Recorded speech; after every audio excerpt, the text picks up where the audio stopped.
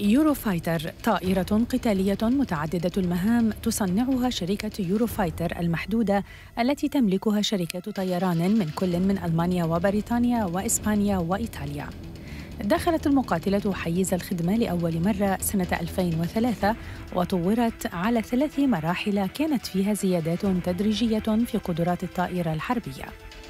تتميز طائرة يوروفايتر بتصميم ايروديناميكي خاص يمنحها قدرة عالية على المناورة حيث تمكنها أنظمة الطيران الرقمي من تحقيق الاستقرار المطلوب.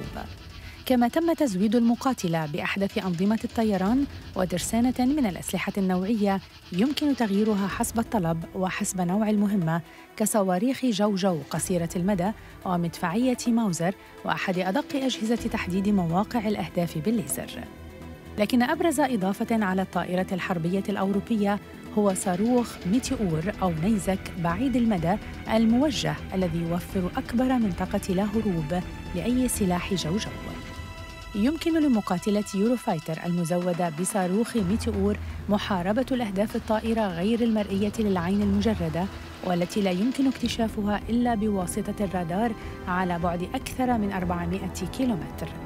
حيازة سلاح الجو الألماني مبكرا على هذا الصاروخ. سيمنحه تفوقا في المواجهات الجوية من خارج النطاق البصري ويمنح طياريه ميزة تكتيكية كبيرة وضمانا أكبر لبقائهم على قيد الحياة.